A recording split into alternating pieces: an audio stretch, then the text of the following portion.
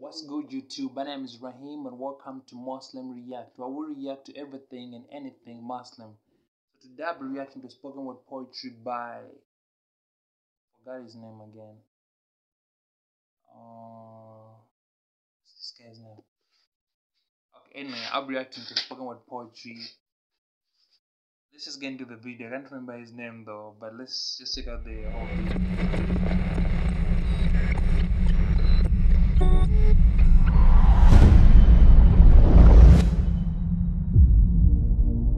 What are we doing here? And where are we gonna go? It's like we just woke up one morning and then it's welcome to the show.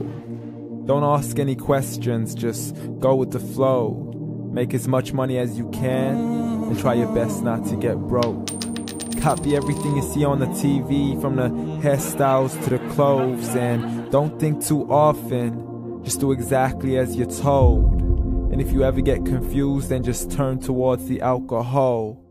You'll still hear thoughts. Then just turn up the radio as you learn to live a lifestyle of drugs, sex, and rock and roll.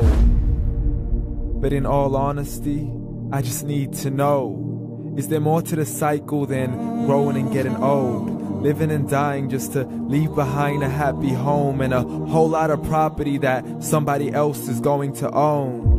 I just really need to know before the casket's closed. Cause I'm not willing to gamble with my soul, nor am I ready to take any chances. These are just simple life questions, and I'm just searching for some answers. Like, what are we doing here? And what is our purpose? How did we get here and who made us so perfect? And what happens once we go, or is this world all really worth it? Questions we don't answer because apparently we don't really have to. There's no purpose to this life and our existence is merely natural. Then in that case, please let me ask you, did you create yourself or was it somebody else who had fashioned you? Cause you're a being that's impeccable, faultless and unparalleled. You're a product of supreme intelligence and I'm merely being rational. For there isn't a camera on this earth that can come close to the human eye, nor a computer that can compete alongside the human mind. And if the whole world was to come together, we wouldn't be able to create a single fly. So many signs, yet we still deny. As science tries to justify that all this could come from none, when it's a simple sum, zero plus zero plus zero cannot possibly ever give you one. So from where did all this order come?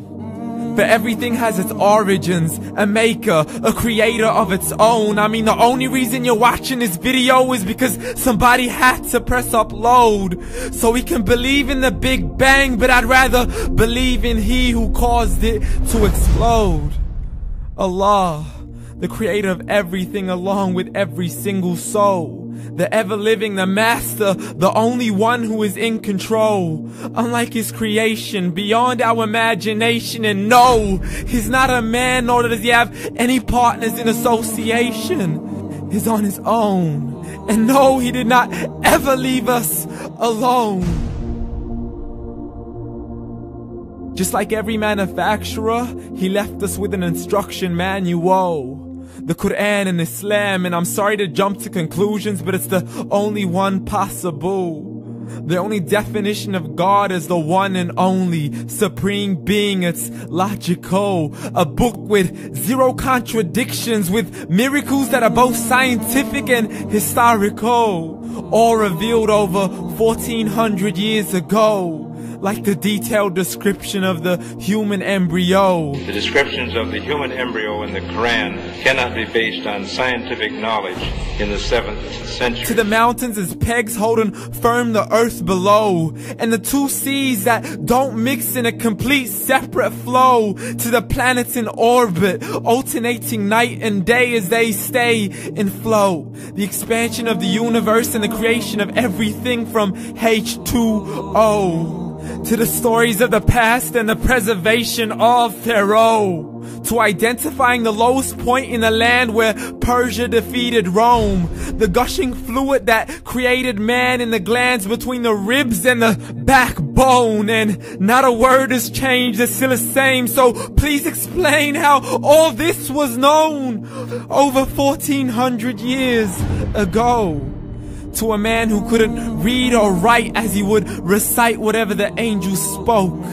And if you still don't believe, please try to come up with something that's even close.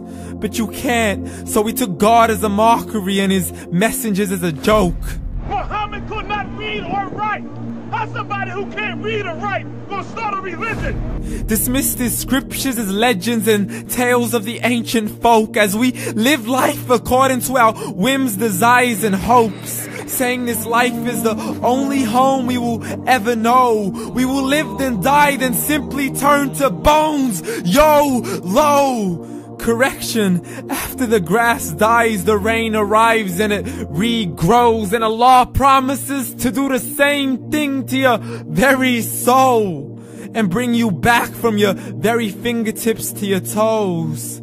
As the all-seeing supreme being watches us so close and we are surely being tested in our wealth, our health, and our self, and everything that we've been blessed with. So believe, for we will surely be resurrected and be brought back to our Lord and account for every single deed as He hands us our books and orders us to read from the bad to the good and everything in between. You yourself are sufficient for your own accountability, so don't be mad at me. You are the one who thought he wouldn't come back to me. I gave you a whole life long to search after me. But you were busy in all that which was temporary, so read. And glad tidings to all those who believed. And if you disbelieve, read. And don't let that day be the first day you find out what your life really means. Read. Alright guys, so that was uh, The Meaning of Life by Amal. I can't believe I had forgotten his name. Uh, so the message is kind of chilling, chilling in a type of way that you know it's so real that just cuts through the bullshit and the nonsense yeah so alright so if you like the video make sure you give it a thumbs up. And also don't forget to subscribe to my channel. And always remember to be a good follower of the real islam not what we see on the media. Alright so until next time inshallah this has been muslim react. Or react to everything and anything muslim. Peace mm.